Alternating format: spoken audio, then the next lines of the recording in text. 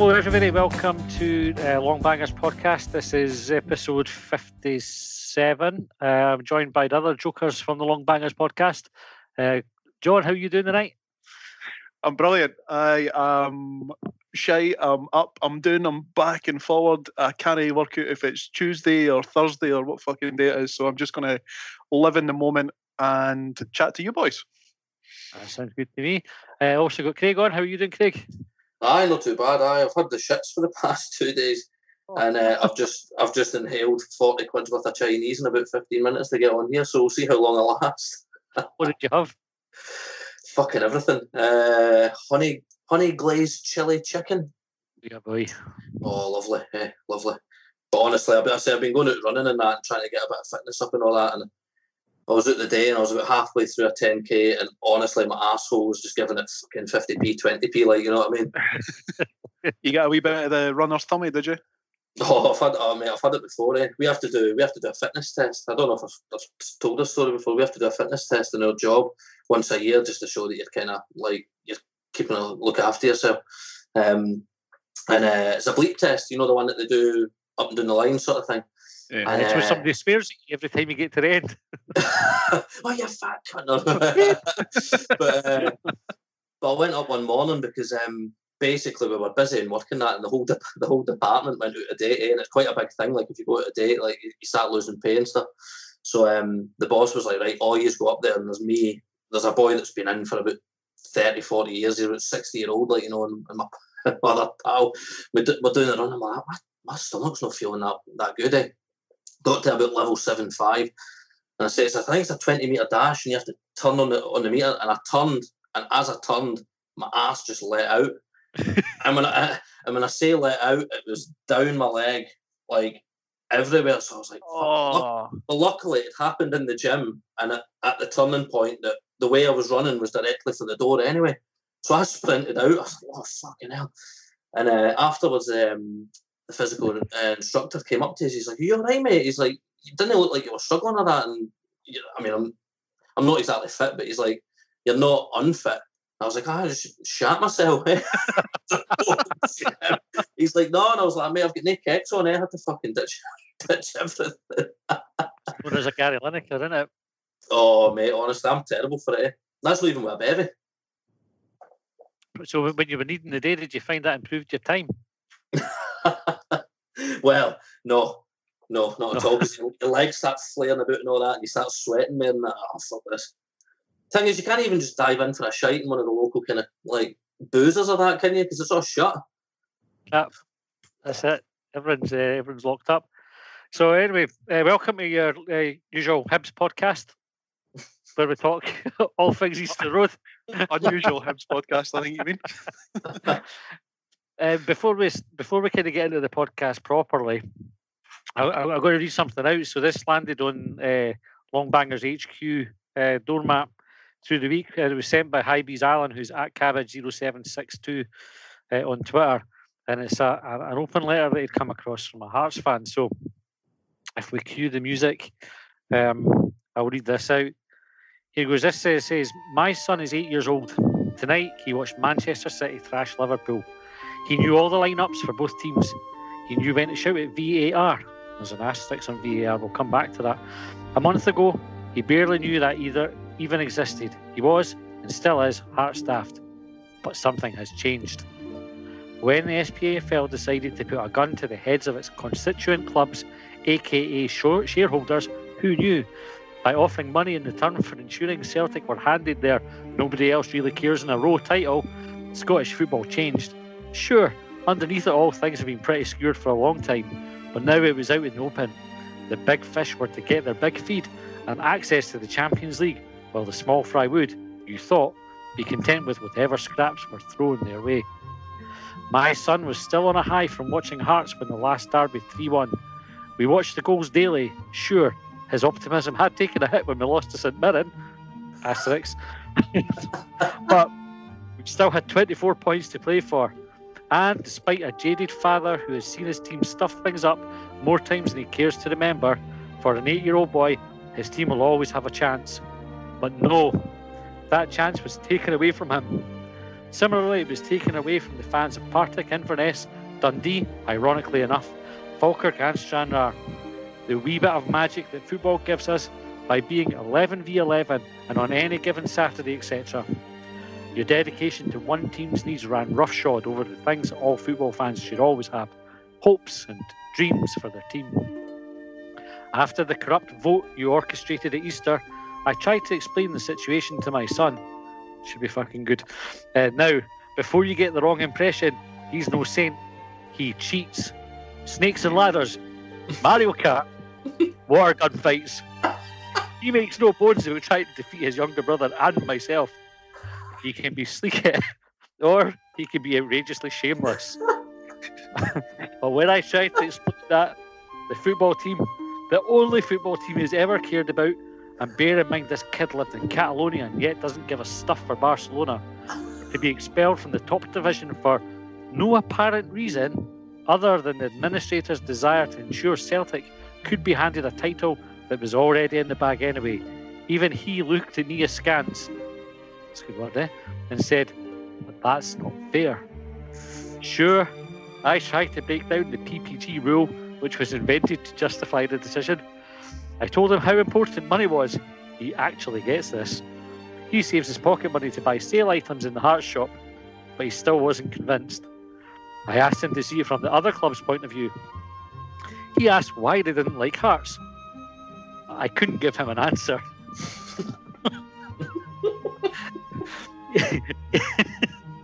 even, even one of your little lick spittle lackeys, Les Gray, declared that what is going on is unfair. At least admit it, Neil. Tell us that you know demoting a team four points from safety with 24 to play for is unfair. Ask Werder Bremen fans what they think about making up point differences. Then, in the middle of lockdown, the Germans showed the way by playing football again. We'll skip Belarus, although I'm sure they could show you a few tricks in propaganda, given their leader's Soviet era cling to power at all costs mentality.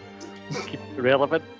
Uh, then, English football, which some of his friends talked about despite being Edinburgh born and bred, rave about. Until June, you see, my son had been taught to follow his local team and only his local team, but not his Catalonian local team. Um, he, was obsessed with the foundation of Hearts kit printed with the names of the thousands of fans that had helped keep our team alive. He loved hunting for my name. I was on minimum wage in Spain when I started paying into that fund. He loved this fact that the people around him at Tynecastle, no matter their circumstances, had some kind of collective spirit to keep something we love alive. Please tell us how much money you've taken out of Scottish football. Can you equate that with the value you've put in? Nobody even wants to sponsor your sham of a league. But he still couldn't get into his head why his team had been removed from the top league. Bear in mind he's eight. Uh, now, you could call me irresponsible, but my son loves football so much, we've been out most days during lockdown playing in the meadows, that I allowed him to stay up late to watch football from Germany, England, and Spain. He asks the same question most nights now, though. Why can Hearts and the other teams not play now? Now, I'm not going to hold you to account for the Scottish Government's decisions around contact sports and when it's safe for these to go ahead. But the bit I do find hard to explain, perhaps you could, Neil, is why our season had to be called when others are able to resume at a later date. Was there someone in your ear? Were you under pressure to twist some arms? I mean, was this an equitable solution for anyone? My son's now watching the English Premier League every night, begging me to stay up late so he can see live football from just a few hundred miles away. He's got good eyesight. Uh, he's no longer saying to his friends that they should support Hearts because you ought to support your local team. He's getting swept up in the hype and marketing that the EPL does so well. Last night I asked him if he was looking forward to seeing Hearts play again, no matter what league they play in. To be honest, he wasn't as bothered as he was a couple of months ago. He doesn't pretend to be Sean Clare. No wonder. or, Steve, or Stephen Naismith now when we play. He's Mo Salah, Kevin De Bruyne, or Leo Messi. He sees them playing their games on the pitch, not in secretive votes and skullduggery. He also sees VAR decisions making sure that things are reasonably fair. He cares more about that word now than he did before. He started playing more fairly with his brother. He doesn't want to be unfair like what they did to Hearts. You've had quite the impact, even unintentionally. You see, Neil, an eight year old can see right through you, and whatever else helps you ram through your plan back in April. You've given another kid less reason to watch Scottish football and thrown them into the embrace of the mega leagues and their marketable product. You've been found out by a kid that still talks about the last cup final as though it was one of the most important days of his short life, even though his heroes lost it. Well done. Think how many other eight year olds in this country there are who don't understand why their team is going to come out of COVID 19 far more disadvantaged than the other teams. Uh, be a big eh? Think about that for a second. Sure, I knew the ball was burst a long time ago, and it wasn't your fault at all. But what happened in April and the nonsense which has followed it, well, that's on you.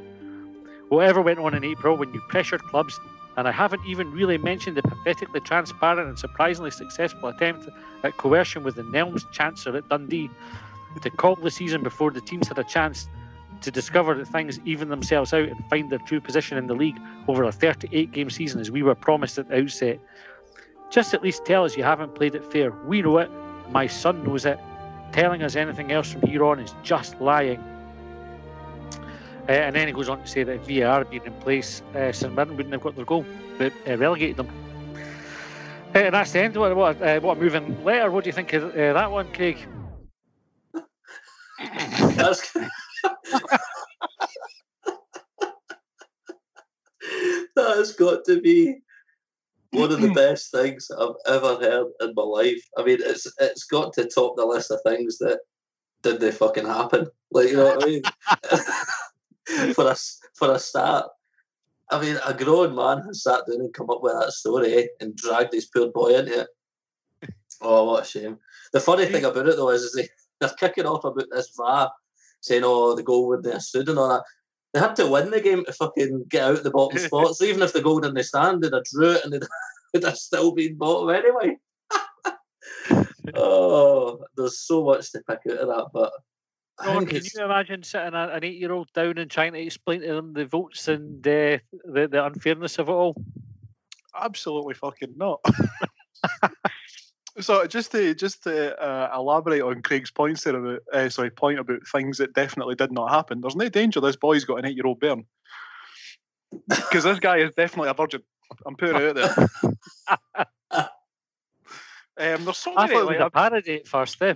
I've scribbled a couple of things down there just as uh, as you were reading it out, and there's obviously like there's a massive Celtic agenda there. There's obviously wee bits about Dundee and St Mirren. Like there's obviously a oh, what's it? He's got a, a cross to bear with those three. Um, then he's talking about fucking equitable solutions and Soviet propaganda, uh, things being unfair. Like I'm really fucking sorry, mate, but how many like how many people have you fucked off? How sorry, how many teams, how many businesses has your team pissed on and bumped out of bills? And you want to talk about equitable solutions unfair? Get get away, fuck. Uh, and and moreover, moreover, my final point I'm going to say about this is that he's saying that his eight-year-old laddie, um, he now plays more fairly with his brother because of fucking VAR St Mirren and the bloody voting system in Scottish football. I'm not going to cheat Mario Kart because Hearts got relegated. Behave. That's absolute shite.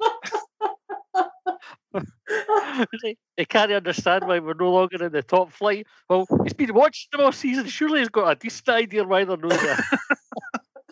Aye, Okay, has, he ever, uh, has he ever thought that he stopped caring for Hearts and thinking about other teams because they're fucking dog shit? You know? and his pals are pro- his pals are probably giving him fucking endless shit for being a jambo.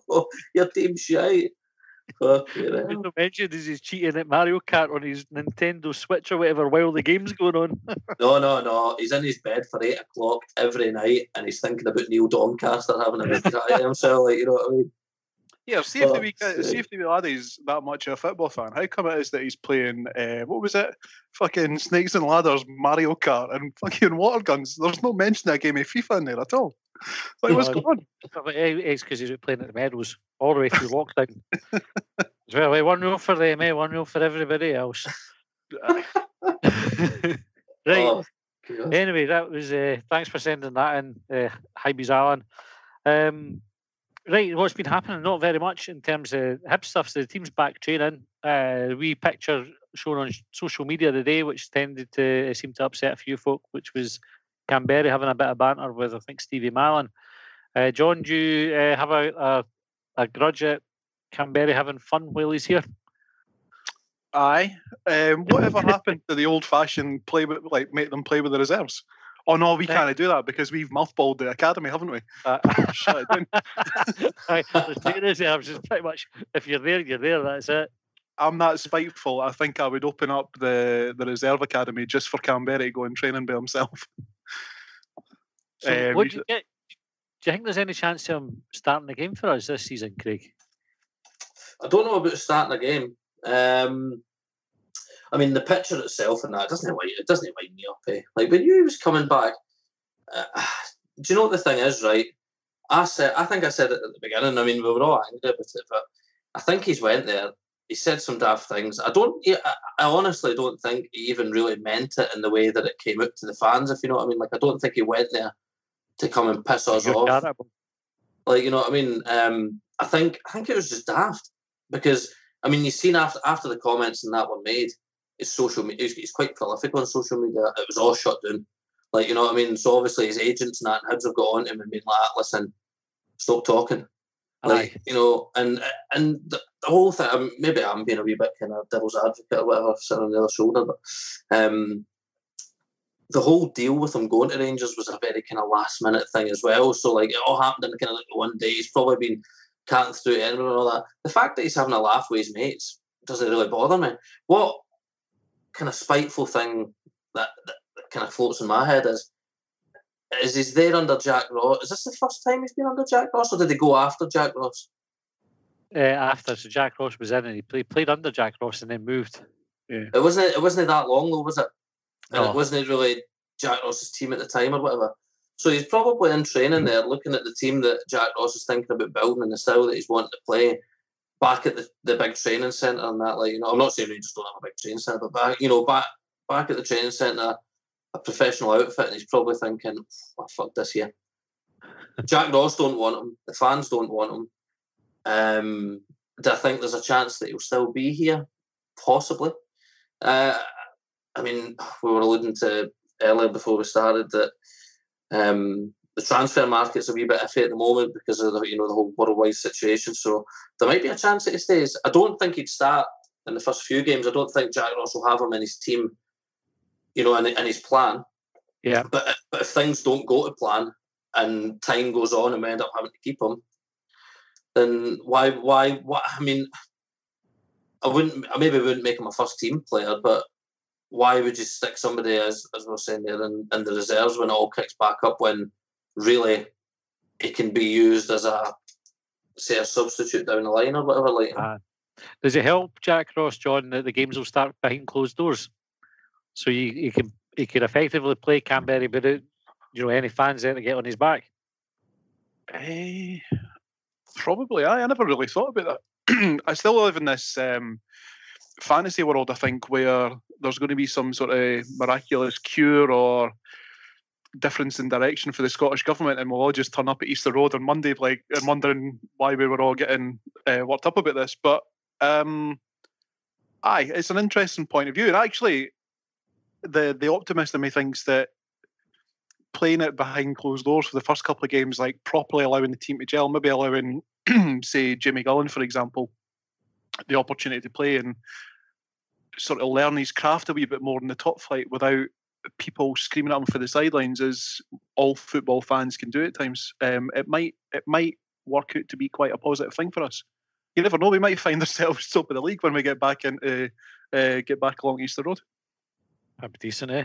That'd be right. Um, any, any rival fan listening into this podcast will be clipping that little snippet of you. Oh, did he? Edit that Me as well. Right. as well. Um, and the, the, the fixtures come out, so we start off uh, Kilmarnock at home. Happy with that? I, I don't know. Like, see, because because like we're we're sort of entering unknown territory in terms of playing games behind closed doors. We don't really have much of a different squad. We've got a guy in there who at the last time uh, we saw him anywhere near Easter Road, he didn't want to play for us. He was pretty much signing up for the lodge. Um, so, how how do you ever judge and say, "Oh, I think Kilmarnock's a good opener"? By previous season standards, you kind of look at Kilmarnock coming Easter Road and you'd go, "Oh, you came up like I maybe fancy a chance a bit here," but every game is is an unknown quantity. Despite what I was saying before about like optimism and you know picking up points and whatnot, um, by previous years sort of standards, you would look at the first five games and go, "Kim, what I could see us picking up a few points here." But now it could just be an absolute fucking free for all.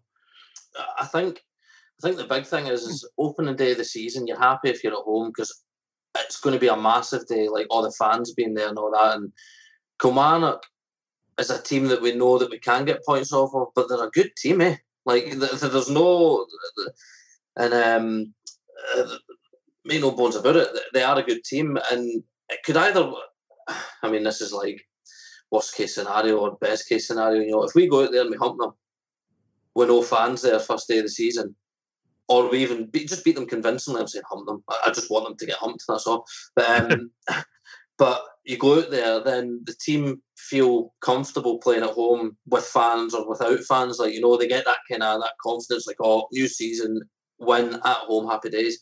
But it could go the complete other way, like you know, because you could go you could go out and play at home, have a shock of a game, get humped, and then you don't have the fans to kind of, you know, give you that little bit. You. So on the on on the flip side of it, you can start your season off terribly, and then by the time fans come back, if you're in a bad position, fans are coming back to the first game of the season and they're already on top of you. Like like there's not that kind of excitement for being back. It's just he's a fucking Aye. shite. You know what I mean? So it's like it's a weird one, isn't it? Like it's, it's just so hard to. That's a good point. Eh? Uh, think about that. Like you, the, the fact that we'll be back, and, and we're not going back to when, when fans go back in. It's not the first day of the season when you've got the total optimism and the hope for the season ahead, and you've not really, other than a couple of pre-season friendlies at best, you've not had a, a chance to see the team play together. By the time we're allowed back in the stadium, we could be kind in tenth place and playing absolutely honking. And so you kind of go in and, and you didn't have any of that optimism. It's just going to be shite for, for the one go. you know, there's a flip side where we could be sitting second or whatever, where you go in and, and you're absolutely buzzing to see them. But it's a fun, it'll, it'll be a, a funny situation to be in. No, that's what all that's what all clubs in it. But I can I can absolutely guarantee you though I can't remember his name, and even if I did, I wouldn't say it. But we we've had a wee conversation about him. somebody from somebody from an online uh, Hibs. Uh, I don't know. Um, well, Hibs.net. Aye. aye. yeah, yeah. Where if we were second or we were tenth, and he's been dying to get back to the football. And that day one, he'll still have a complaint and go, "Nah, I'm not fucking going. Fuck that." I would just like it if the football, when we watch it with our season tickets and our live streams that we've got access to, that it's competitive. Because the stuff that I've seen down in England where they've been playing out the season, it looked like they were going through the motions. It didn't. It just looked like they were, I like I say, going through the motions, not really that bothered. Um, hopefully, it's got that on that point, John? You, did you keep watching it? Like, are you still watching the games now that are happening? Uh, uh, no, this point? was this was pre Liverpool winning the league, so I think I watched. Oh, who was I watching? I watched Man City against someone. Um, I think Man City won maybe three or four nil. Um, I can't remember. I watched two or three others, and I, I don't know. Like maybe it's just my my sort of general view of the the, the Premier League down south. Um, I think Craig maybe mentioned it before about the, the way that they market the game. In fact, it could have been that boy in the. Where's the boy? I, in the, the open like Sorry, Craig, I take that back. Now, eh? I know you. I know you oh. view uh, kickback, but um, I, I just I don't always think that the English Premier League's that is is as good as it's cracked up to be. I think there is a lot more marketing goes into it and less end product. But See, what I, that's just my, my opinion. The, the point I was going to make is that the games have happened more recently, like this week's games have been better, like they're like night and day to the first games when they came back. It was like pre-season. It's like Kevin, you're looking at uh, players getting up to match fitness. Yeah, that's what the games have been better. I mean, they're still. I mean, it's not the same with fans, and there's no, can, there's no two ways about it. You can't even do the dress up any other way. It's not the same with fans, but the games have been getting better as the players have been kind of uh, getting their sharp, sharpness up. Yeah. Aye. so uh, maybe once can the the Scottish clubs go back with a pre-season behind them, although it's not going to be a standard pre-season, I suppose. But you would hope they're at a decent level of fitness at the time the games kick off. So when is it the Scottish Premier League kicks off? Is it the first of August? August, aye. Aye. So what? We're on the seventh of July now, so we've got about three weeks to try and cram a, a pre-season then, Aye, but and then start up. and as important as that, and probably the next topic to talk about is we need to build the team. So, um, Craig, if I start with you this one, if you're Jack Ross, what are your uh, priorities? Like, which areas are you trying to strengthen? Oh, um, it's tough, isn't it? Because it all depends on, for me anyway, it all depends on uh, like big movers like Boyle. If Boyle doesn't go, then it changes the whole dynamic for me. I always I thought somebody in at left back um, was a big thing. Maybe not. I'm not saying just to, to completely take the place of Lou, uh, straight away, um, but just to, to challenge for it. Like you know what I mean to to to have a bit of fight there. Maybe somebody else in at the back. I know Porteous coming back, but without us like without a solid back line, I mean Hibs Hibs seem to just struggle. Eh? And that must that I mean that's any team. That's just their kind of like you know our own personal thing because we watch them, but. We, I think we need a solid back line and a centre, central defensive midfielder. I think strike wise, I'm happy for Gullan to come in alongside Doidge. I think Doidge um, is has grown since he's been here, and like you know, compared to the way that Hibs fans viewed him, rightly or wrongly at the beginning, Yeah. you know, it completely changed. I don't think we really need to. I mean, it would be nice. Of course, it would be nice. You always want a striker, didn't you? You always want like a like a like a big name signing that's signing, going score. the- Yeah, yeah. But I mean, to be honest, I'd be I'd be quite happy to start the season with Gullan and and Doidge. Um, oh, I don't know. I, I'm just like, do, do you know what the thing is with the whole transfer business and that at the moment is is because nothing's happened, and it's not anything against Hibs, believe it or not, because I know other teams have made signings and that. But it's been made difficult for us because we're trying to get rid of Kamberi, who will be bigger wages, I would guess, and a good amount of money coming in. There's all the rumours around Boyle. I know he's started um, training and all that, but that would have been normal anyway, I would, I would reckon. Yeah. Um, unless he was actually physically off the books and gone. I think Jack Ross is in a bit of a difficult situation, uh, and I don't think it's down to to lack of Hibs funding. I think it's down to just the market being shite, and in the situation we are with trying to get rid of players, bringing in people without get like, it's just so difficult. Eh? It's just ah, fucking. I go on fucking .net now and again and have a wee read at all the oh I know somebody in the know and it's all shite in it so just Not much happening. John, what about you? Where would you focus your attention? Uh, so I was going to. I, was writing down a couple of notes there again. Um, the transfer window. When does that open and when does that close? Was there any movement and adjustments with seasons? it's Um, open now, and I believe uh, UEFA are looking to keep it open until October. no Although danger. I've not seen it confirmed, but uh, uh, my understanding is that is what's been proposed. See, that could.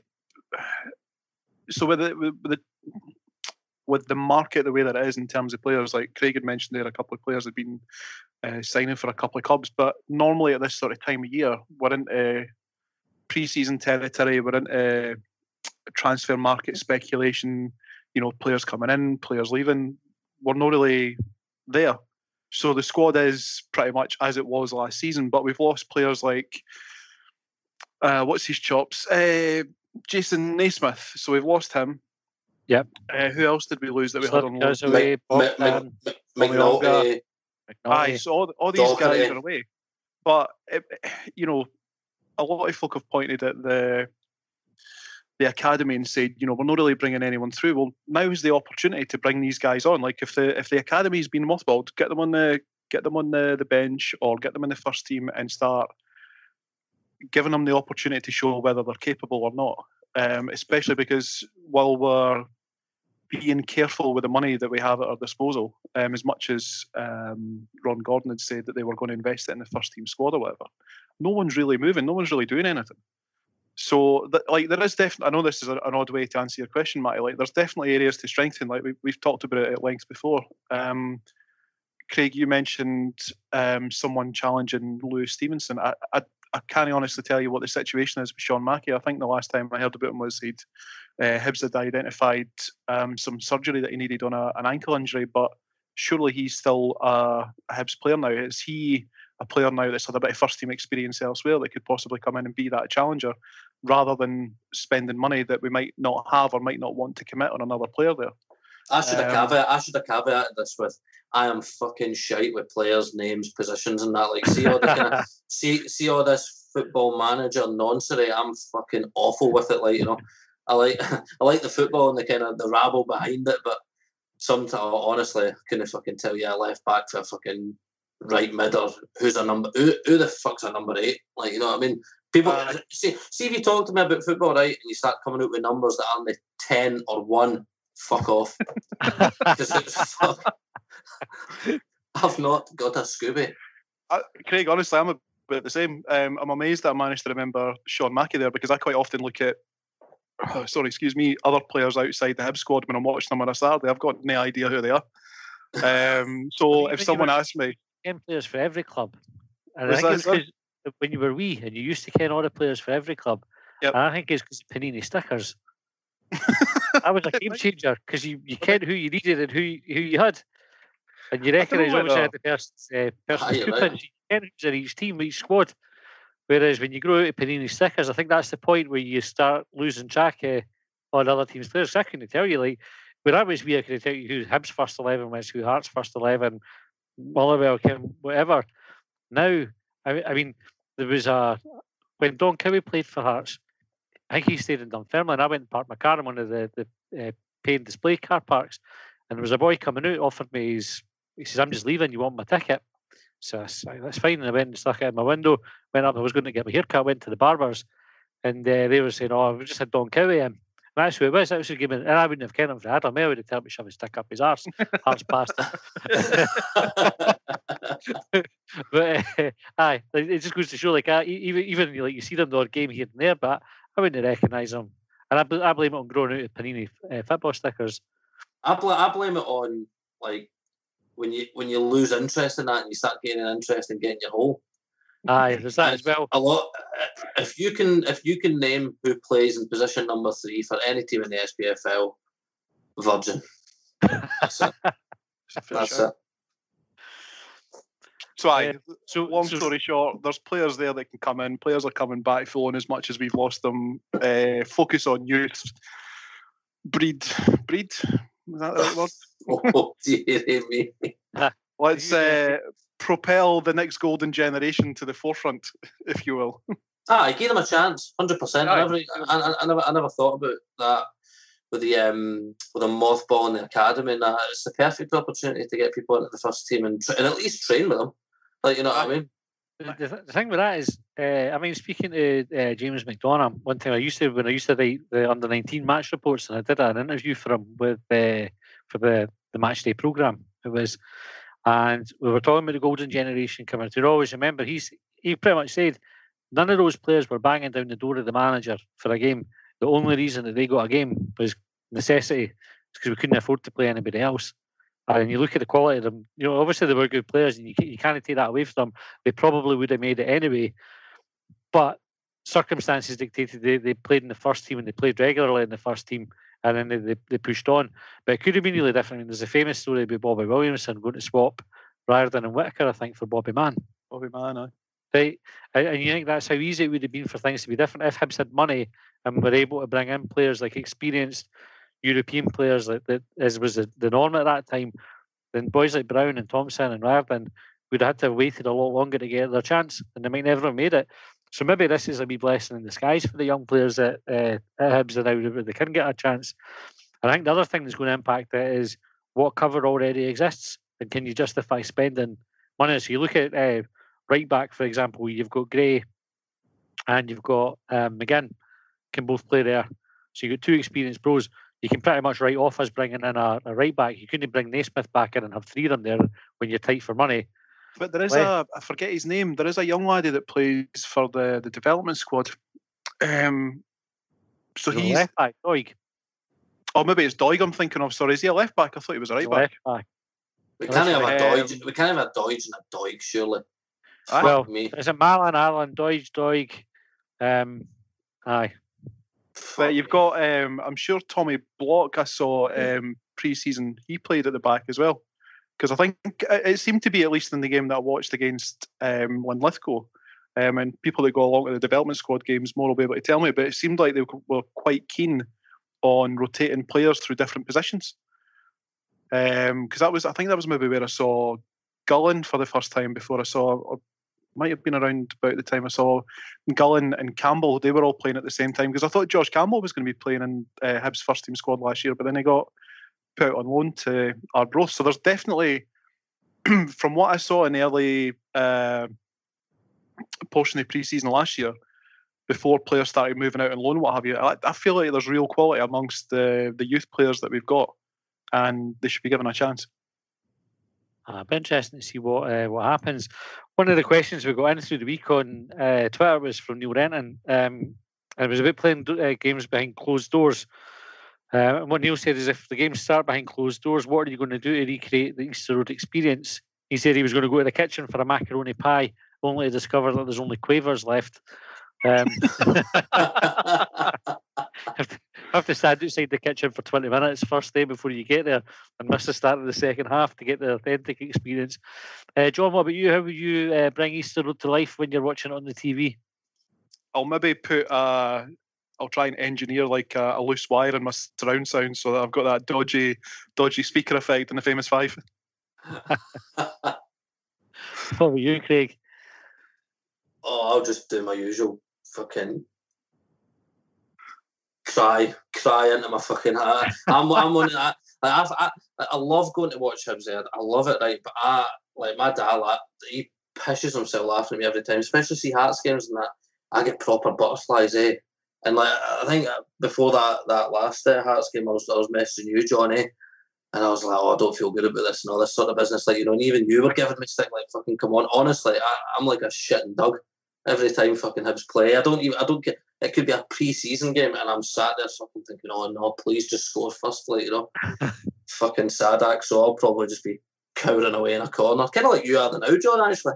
Hi, look at I'm. I'm, I'm just sort of um, leaning back against the chair, um, try to just put my feet up, try to relax a wee bit while I talk to you two. Well, the So people look up won't- across on the podcast, right? Right, but we're we're on a video Skype call, and uh, John's dark. You know, you expect at any minute a bright light to shine on his push, but a German telling him that they've got ways of making him talk. Right? He's sitting totally almost in complete silhouette. Every now and again, when Craig and I are talking, he'll uh, look wistfully out the window, sort of with his arm up on his window ledge, just peering out at his back garden and next door's shed. do you reckon uh, he does have that man gagged up next to him having a wank? Definitely, definitely. Uh, well, I would give you a bit of back into that story because that was in a WhatsApp group previous, but I'll just leave that to your imagination. Eh? Put it there. Eh, Sorry, my um, my webcam's only just kicked in. I don't know if any of you pressed the wee button or something, but I didn't realise I was sitting in almost uh, near darkness that entire time. Is that any better? Oh, your webcam's been on the whole time. aye. Fuck. Aye. Oh, oh, oh, fuck. closed up before night. It's just my. I maybe shouldn't say it's my Andy Johnson laptop because uh, without any prior context, that sounds a bit suspicious. I'll have the Polish one checking the hard drive now. again. That was that was Adam Johnson, wasn't it? Aye. Oh, sorry, Andy Johnson was the other one. Fuck, I'm going to get done for libel and for dodgy hard drives. See, Oh, that, that that's this week's Freudian slip. I, I just can't help myself. I'm always getting something wrong.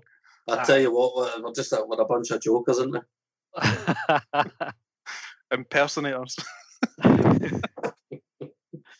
right, what else been happening? Amanda Jones left. Uh, that was announced today. She left the board of directors. Uh, I didn't really care what to say, but she got she's gone on to a better job. And one of the things that was a prerequisite there was to give up any other directorship she had. So only ever heard good things about Amanda Jones. So uh, for the podcast, I suppose we wish her all the best. Aye.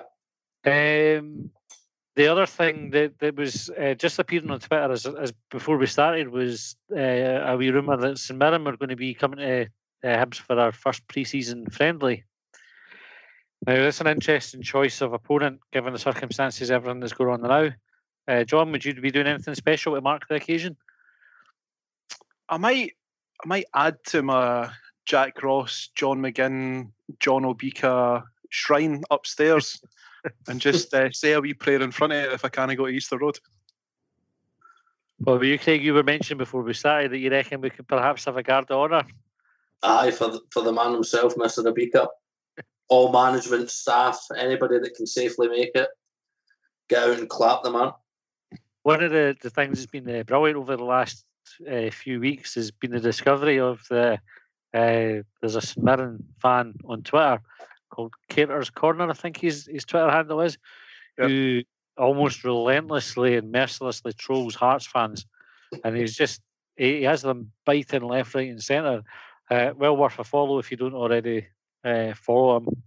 Um, and then I suppose that that kind of segues nicely into the other thing that might impact how next season looks, particularly on a financial level, which is uh, the whole court case and and uh, arbitration.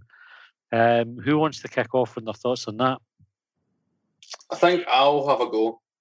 Good name.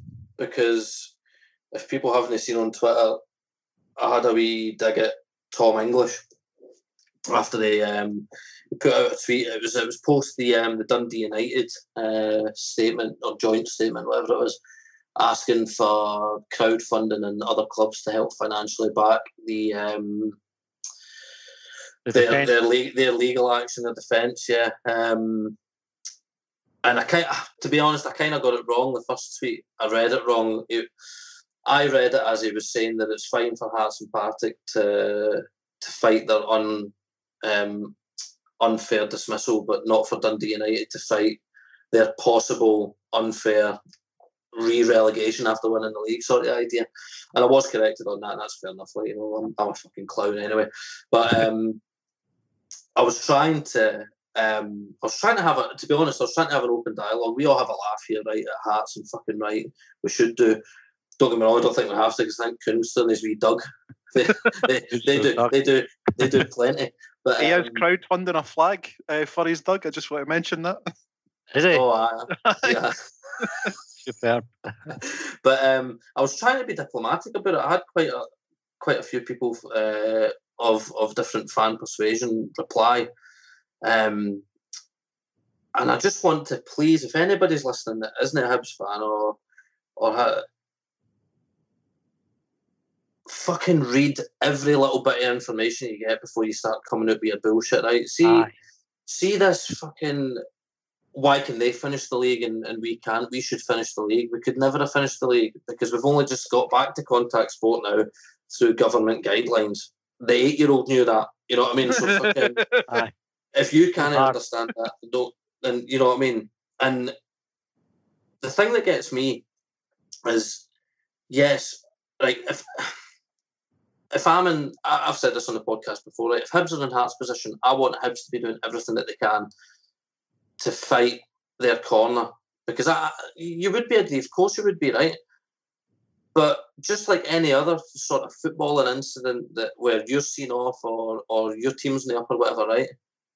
I fully expect Hearts, right, if if they win this arbitration or whatever, to come back and give us endless amounts of stick, right?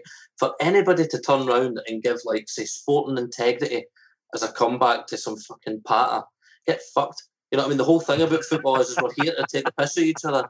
I think you, I think in your exact words, Matt, it was it's an open goal in it. If Aye. Uh, like, uh, like if if we don't take the piss out of Hearts for this, then then what's the fucking point? There's no rivalry, is there? You know what I mean? And I think a lot of people can see that. But I was trying. I was going back to the original tweet. I'm away on a tangent here. Um, I was trying to be diplomatic about it and say, listen, if I was in their situation, I get it. And I'm not saying that the joke, uh, the joke, sorry, the, the vote wasn't a farce. I think the whole, the way that the vote was taken, as in like you know, they came out here's here's a fucking stupidly long document, read it and vote on it. This is the only thing that can happen. And they gave it within like 24 hours or something daft like that. And then the whole debacle with releasing the the results of the vote, the Dundee vote, all getting oh, not all that malarkey. I'm not saying that the vote wasn't a farce. What I'm trying what I'm trying to say is the SPFL handled it wrong in the first place.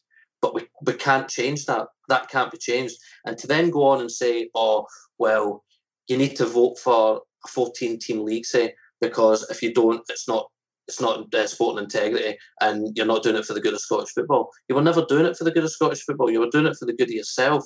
The problem is the SPFL should have basically shut up shop and said, right, listen, the vote's been done. We'll sit yeah. down with all the all the member clubs, take a week or two maybe, and we'll try and hash something out. Somebody is going to lose out. You know what I mean? You're not going to get everybody winning because even if somebody turns around and says, "Oh, but if everybody gets promoted and nobody gets relegated, everybody wins," everybody doesn't fucking win because you're ending up with like a fucking ten team split at the bottom or something like that. Hundreds of games that are fucking pointless. There's yeah. so many other things that go along with it, and see trying to drill it into these thick cunts on on Twitter that all right, I'm one. I'll give Hearts Banter hundred percent, but I'm not going to turn here and be a hypocrite and say, listen, if if Hibs weren't in a situation, I wouldn't like. I wouldn't. I wouldn't feel aggrieved either. But that's the whole fucking point. But they just can't see it, and I don't. I don't know how you feel on it because I know you were you were uh, trolling, and there's some great points that people make as well that. Aye. That sound like banter that aren't banter. Like I think um, one of the posts that you put up, Matt, it was um, was saying something along the lines of there could have been no other outcome. Um, which which I completely agree with. And people are like, oh no, no, but that's not there couldn't have been another outcome. But that's not and then they, they turn and say, Who's to blame then?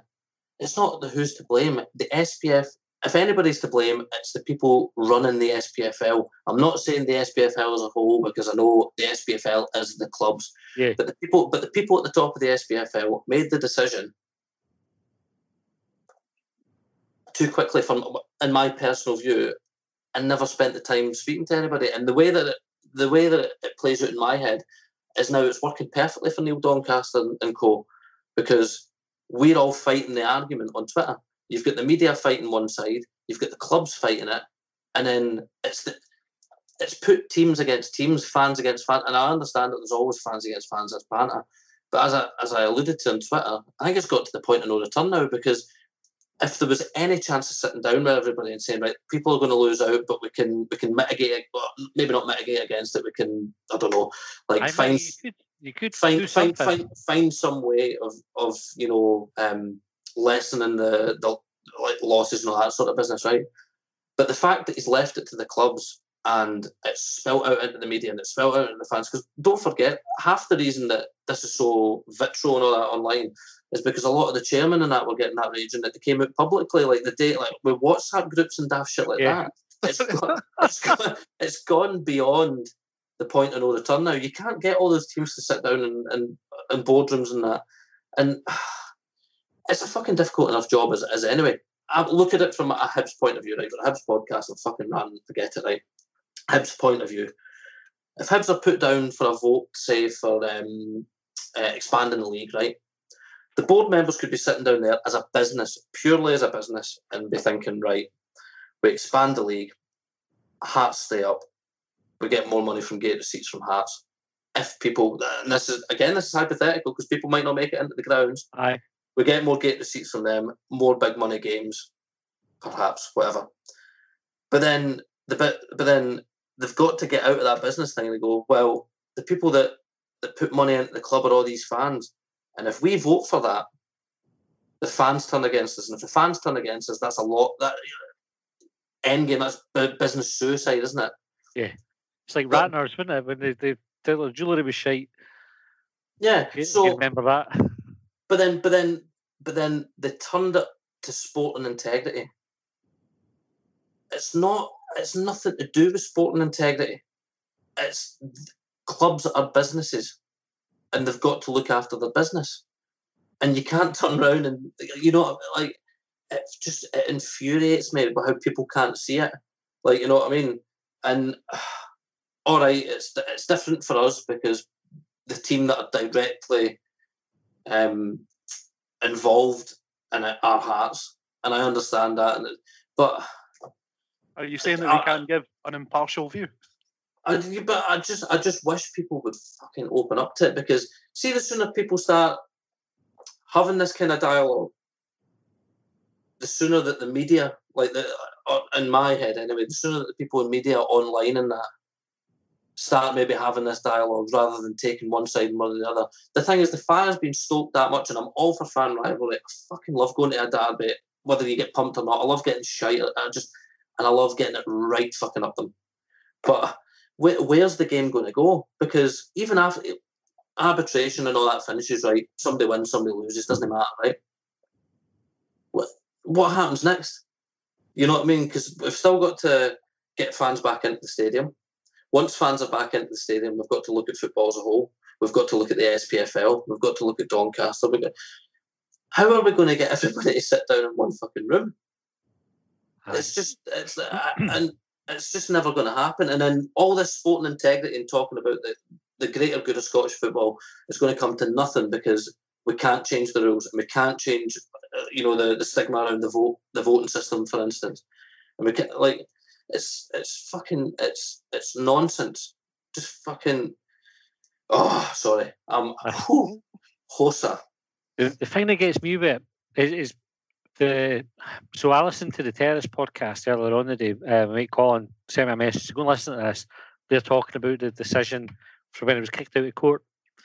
And it's a Kilmarnock fan and a Dundee fan that were on it. So it's quite a, a good way to um, see what the viewpoint is like when you know you didn't have that emotional attachment of either being a Hearts fan and an idiot uh, and a Hibs fan, where you, you want to see them suffer. Right? And the, the boy, it, it was like a, a window into what the media should be like with the way that he described it, because he just stuck to facts. He stuck to things that actually happened, and then the practical the practicalities of it. So, like you say, Craig, right, the, the decision end the, the season. So, if we take that as our starting point, like COVID happened, and it became apparent very early on that we weren't going to be able to play football. Now, whether that decision was taken at that point, this is maybe where I disagree with you a wee bit in, in terms of the timeline of it. Um, whether the decision was taken then on day one or taken tomorrow when we've got, you know, we know that the next season's going to start in a couple of weeks' time. It didn't really matter. It was evident that you couldn't play out the season. UEFA wanted the season done and dusted by the 3rd of August. That was their deadline. Now, we're starting a new season on the 1st of August. We can already see that um, players, in some cases, are going to have to play four games in eight days due to fixture congestion is coming up next season. There is no room to play extra games in there. You couldn't say we'll start the first of the season and the point that we pick up is game 30, whatever, you know, 31 or, or 32, whatever it was that was left to play in this season. You have to say this season's done and dusted. There's no time to play it. You couldn't ditch the, the League Cup because that's after the 3rd August. So all your options to play this season have gone. The only option, whether you took that decision months ago or whether you took it today, was to, to end the season. And then UEFA said, right, you can still have champions, and we want to know if you're putting somebody forward for a UEFA Cup place or a sorry Europa League place or a Champions League place, or you're doing promotions and relegations, it has to be done on a sporting basis. So the fairest way to do that is on the points per game. So the only way that the, the SPFL had to wrap up that situation, knowing that there has to be promotion for the, the teams that win the league and the leagues below, and relegation to accommodate those teams, was to take it on points per game. And that's what they did. That's what they voted on. The decision to end the season was right. It wasn't done to give Celtic nine in a row and deprive Rangers, who were already miles behind them. It wasn't done to give Celtic the title. It wasn't done to stick up Hearts because, you know, let's take the chance to relegate them for for what reason? Like, why would the SPFL take one of their biggest clubs and deliberately kick them out of the league? They wouldn't do it. But that was at sport 10 basis, points per game. That had to happen. That's the facts of the matter. And it's a fact that they couldn't have finished the season. There's no practical way they could do it. And if somebody could show me a practical way, I'd, I'd be quite happy to stand corrected. And then you go into what you said about the reconstruction debate. So nobody at any point has voted to keep Hearts in the championship. That was never on the table. The vote was, do you want a 14 team top flight? And then the rest leagues, however, I can't remember how they were they were set up. But that proposal was shite. And you can go back to Anne Budge, who led a group, and she did nothing. The amount of chairmen that have been on the radio since it said she never picked up the phone to me. They never asked us for input in it. Go and do some work. If you're that bothered about your club not getting relegated and you want a re- reconstruction, put a bit of fucking effort into it. Then I just come uh, after and say, oh, everybody was self interest and nobody listened to us. Go and find out what the clubs want. Go and find a proposal that works. Because I, I can guarantee you, because of the financial impact of not having Hearts in the league, right? And they do, they have a, a decent sized support. You're looking at Hibs missing a, a, a two derbies or, or, or at least one derby, uh, depending on you know, where everybody is after the split. you're not going to lo- deliberately lose out on that money if you didn't have to. So if they could come up with an option that said, here's reconstruction it benefits everybody, it would have got voted through. I guarantee it. Nobody would have sat and went, ah, do you know what, that's really good for us, but we're not going to do it because we want to see Hearts get relegated. That's just nonsense. To, to think that that's a, a line of thinking is it's mental. I mean, you'd have to be an idiot to, to, to think that. So everything that's happened is, has to have happened. I didn't see any other option for it, and it is harsh on Hearts. So you can't you can't disagree, right? You you would be feeling aggrieved if you're that team that's sitting with eight games to play and you're getting relegated. You think we could have got out of that. But uh, and, and this is again where I disagree with you. Uh, I'm quite pragmatic with these things. See if it was Hibs in that situation, I'd take it. You go right, fine, take take the season, the championship, we'll come back up. You know, we've been there before. We survived. We could do it again. Somebody's got to go down, and if you're the, the bottom team at the time the league's finished, you go down. Relegation happens. It's, it's harsh on every team that gets relegated. Nobody wants it. So I, I, I just find the whole argument is off founded with, with, folk coming at it from angles that aren't you can't back them up. They're all based on a kind of false argument.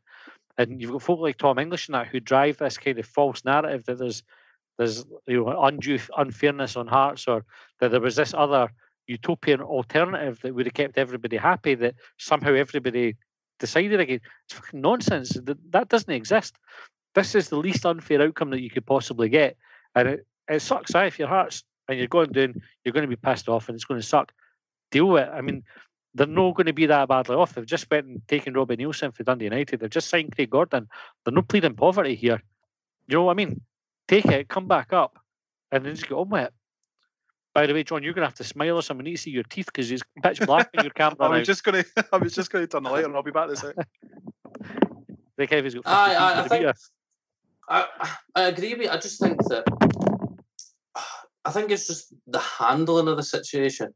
Aye, that could have been better, undoubtedly. Aye. Hundred percent. And I think I, I, pers- I, I, I personally think that if it was handled better, in the sense that that decision to end the league had to happen, and I agree with that. But as I say, maybe if they just waited a little bit longer, not to not for like the fans' sake or whatever, but to sit, but to actually sit down with board members and our clubs and say, listen, this is what's going to have to happen. So we need to figure out how we're going to go about like either next season or. That's a fair point. Aye, I agree with that. They, they could have spent that time better to rather than rushing rushing through the conversation around it to say this is we know this is going to be what the outcome is. How do we get to that point? Is is, is probably what they could have done uh, better. But uh, even the noise around the Dundee vote, done the, the SPFL, and there's all this talk about oh, they're, they're strong arming folk and they were trying to persuade people to vote. So they should have been. The best, the only outcome that works is to end the season. If the clubs had voted against that uh, resolution, it would have been back on the table the next again week when they went right. We're a week down the line. We still can't play football. Do we leave this for three weeks when we still can't play football, or do we just actually kind of let everybody plan, let us pay out the payments that we need to pay out, and do it now?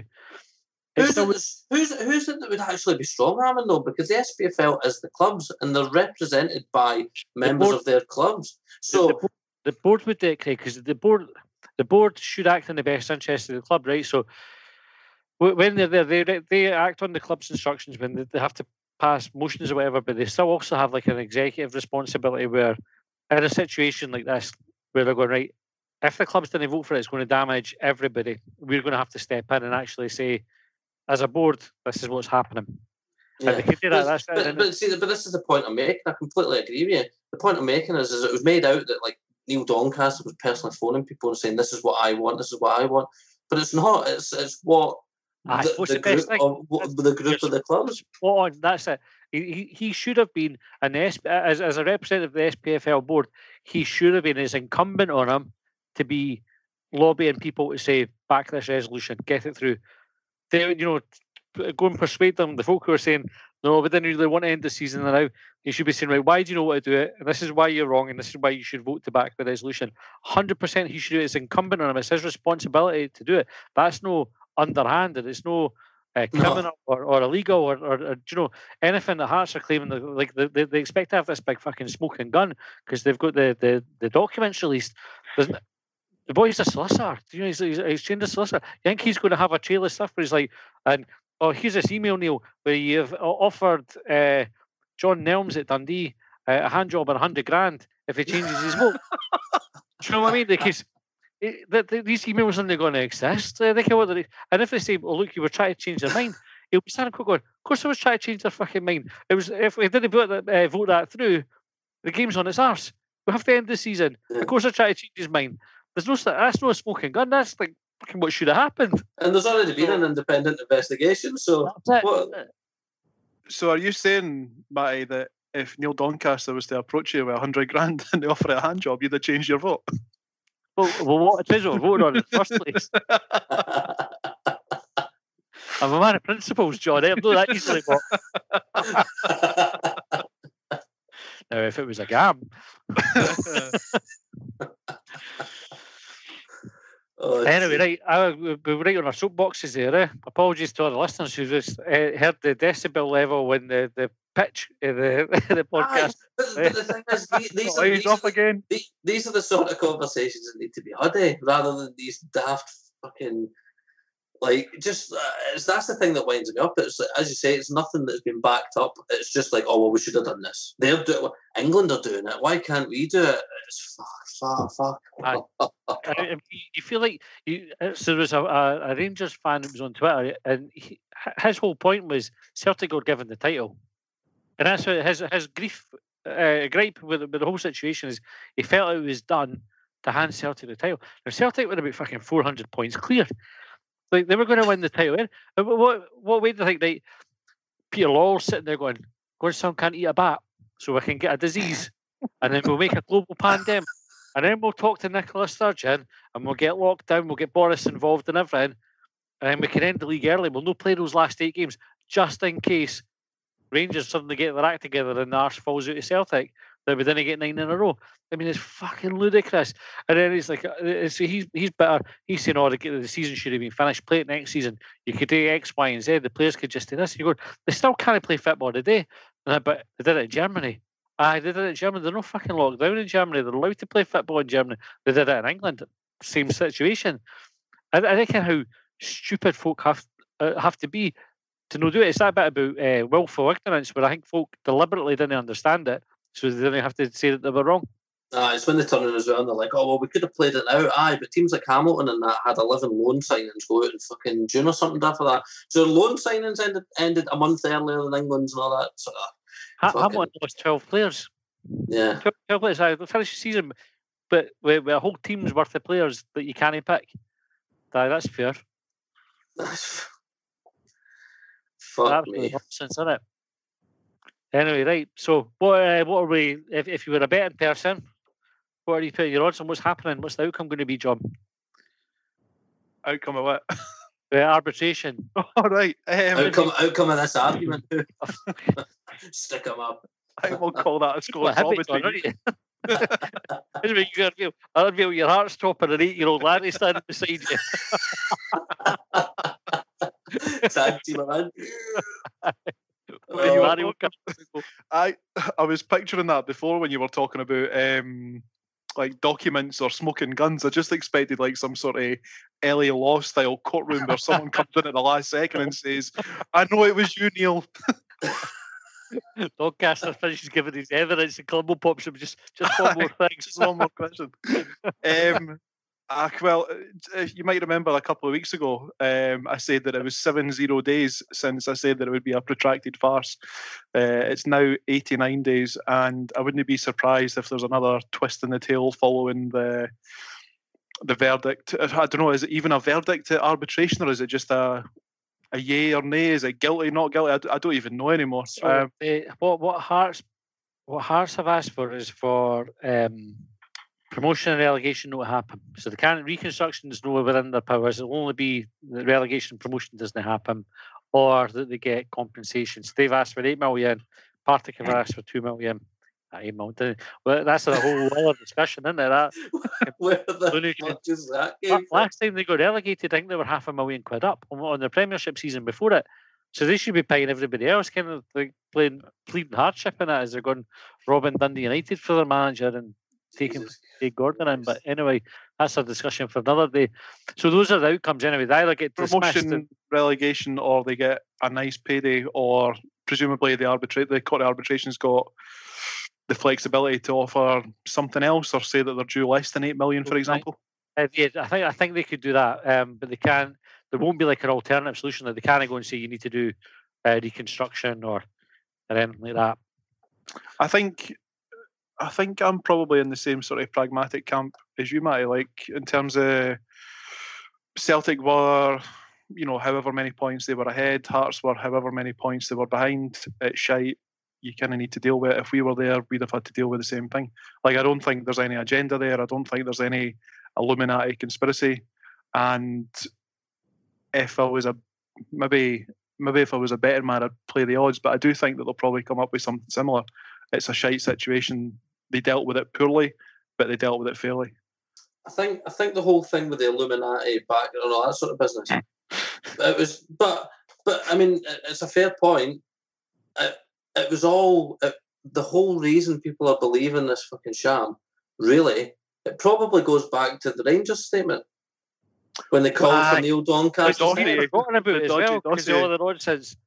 That was a Like- farce. That like so i mean um it's it's difficult because there's so much there's so many things that, that i personally think hearts will lose it um i think the only thing that they would kind of be hoping for would be something in these secret documents but we've already talked about deloitte's have done it um independently. I don't think there's going to be anything that the court of arbitration finds um and i think hearts will be relegated and, and, and that'll be it.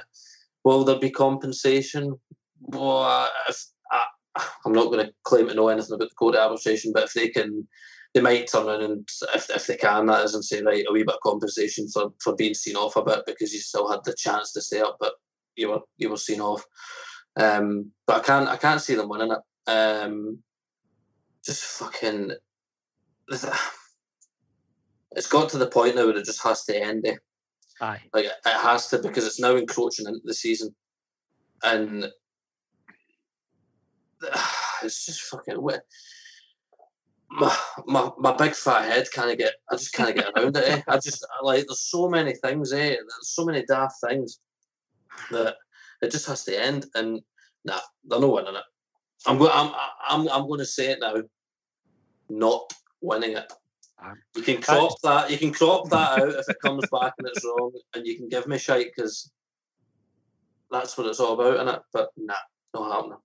My, my gut feeling is you're you're right, and I think I, I go back just to, to what we were talking about before, and you say, like, what legally have the SPFL done anything wrong? And I, I can't see that, they have. I think they've acted in the best interest of the league all the way through. They've had votes when they need to have votes. They've met UEFA guidelines when UEFA have given guidelines. There's precedent in other countries, so France, for example, Belgium, um, Holland. They decided not to do anything. They null and voided the league, so it's slightly different. Um, I think there are other countries where, in fact, England as well have have, have done it, where they've uh, had to relegate uh, teams. That was the guidance. I, I don't think they've done anything wrong.